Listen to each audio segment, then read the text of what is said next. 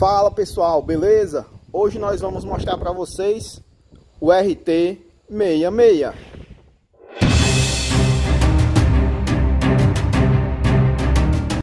Pronto pessoal, hoje é dia de apresentar mais um revólver no canal, o RT66. Ele vem desse jeito aqui nessa caixa. A caixa já muito superior àquelas caixas de papelão antigas, né? Que vinham na, nas armas mais antigas. Não tem nem comparação, a caixinha de plástico muito, muito bacana. O que é que vem na caixa além da arma? Manual de instrução, varetinha de limpeza. Show! Vamos mostrar agora a arma propriamente dita. Na hora de tirar o plástico aqui já caiu foi a, a proteção da, da alça de mira. Retira, já retirado né, a proteção da alça. Vamos retirar aqui o anelzinho de segurança. E vou deixar vocês olharem a arma. Lado esquerdo da arma. Lado direito da arma. Certo? Parte traseira. Parte superior. Galera, vamos falar um pouco dessa arma.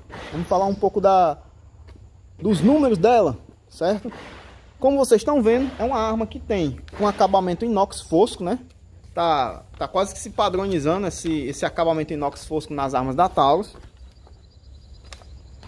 A questão de gosto, né? Eu, se fosse pegar uma arma inox, eu preferia que fosse aquele inox polido, né? Mas tem gente que prefere assim, tudo bem. Ele é no calibre 357 Magnum. Ele tem capacidade para 6 munições. O cano, ele tem um comprimento de 4 polegadas, certo? 4 polegadas. Essa arma pesa 1,60 kg. Não é uma arma tão pesada. Não é das mais leves, das mais leves, óbvio, mas também não, não tem um peso exagerado, certo? A empunhadura dela é um, uma situação aqui que eu vou que eu vou dar um pouco mais de ênfase, certo?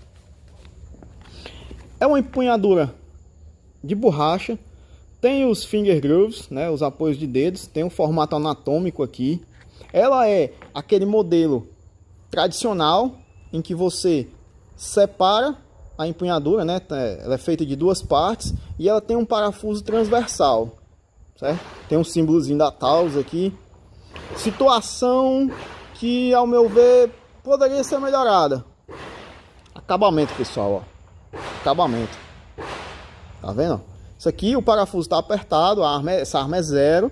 Eu peguei só para fazer o vídeo.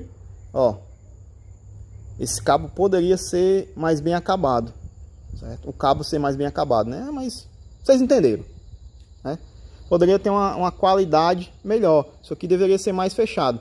Vai interferir alguma coisa no funcionamento da arma, na empunhadura do atirador? Não, não vai interferir em nada. Mas a pessoa que compra uma arma de fogo, normalmente é uma pessoa mais exigente, até porque esse aqui é um produto caro, arma de fogo no Brasil não é barato. Então, poderia ser dado uma ênfase maior nesse tipo de coisa, né? O resto da arma tá tão bem bem feito, sem cantos vivos, bem acabada. Aí quando você vem por isso aqui, um detalhe, mas tudo bem, não vai, como eu disse, não vai interferir no funcionamento da arma. Vamos abrir ela aqui para vocês verem. Como eu já falei, ó, capacidade para 6 munições e 6 câmeras. Cano de 4 polegadas sem eventos, ok? Essa arma não tem os eventos. Alça de mira tem regulagem tanto... Que dá para vocês verem melhor, né? Tem regulagem tanto lateral como de altura. Beleza? Na massa de mira, ela só tem esse inserto vermelho aqui, ó. Que é para fazer o contraste, né? Na hora que você for fazer a visada. Gatilho dessa arma. Em ação dupla, é um gatilho um pouco pesado, mas não, não é nada é, absurdo que você vai lá dar 30, 40 disparos e vai ficar cansado, certo? Em ação simples, é um gatilho muito bom. Curso pequeno, peso muito baixo.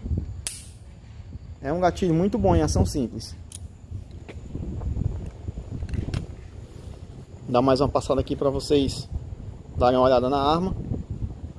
Tem um carro passando aqui perto agora, eu vou esperar ele passar.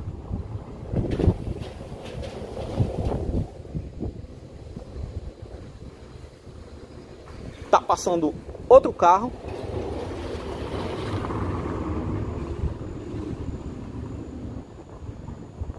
Pronto, agora acho que a galera vai deixar eu fazer o vídeo. Vamos lá. Galera, é, se eu teria um revólver desse, eu acho que não. Por quê? Além de eu não ser fã, muito, muito fã de revólver, eu sempre viso a questão da baixa capacidade, certo? Eu não gosto de armas com baixa capacidade. Então, muito provavelmente, eu não, eu particularmente não teria uma arma dessa. A arma é ruim? Não. A arma tem um acabamento quase que 100% muito bom. Tirando esse, esse detalhezinho aqui do, do cabo, é, eu não vi outra, outro ponto que, que desabone o acabamento da arma. O gatilho, eu gostei do gatilho dessa arma certo? Gostei, realmente. Para uma arma de ação dupla, eu achei o peso do gatilho bastante razoável. Em ação simples não, aí é excepcional, né? Praticamente você não, não vê nem arrasto. Tranquilo? Então, a filosofia de uso dessa aqui, desse tipo de arma, é para quem realmente gosta de revólver.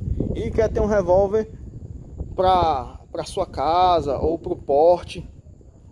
Mas assim, se você me perguntar, eu não compraria um revólver para ter, ter no porte. Por quê? Vou bater nessa tecla da baixa capacidade e da dificuldade da recarga se comparado em pistola, com uma pistola. Beleza? No mais, é uma arma bonita, com um acabamento bacana, que só tem esse pênalti aqui no cabo. Eu acho até que eles poderiam ter colocado nessa arma o mesmo cabo do 627 ficaria excepcional.